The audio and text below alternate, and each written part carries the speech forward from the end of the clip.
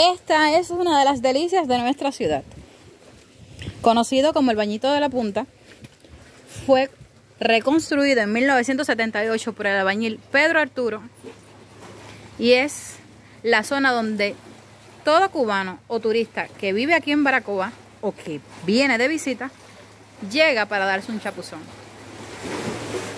Ya, ya, ya, que nos vamos, que nos vamos. Sí, sí, sí, nos vamos. Sube, dale. Dale que nos fuimos. Dale, Boqui, que nos fuimos.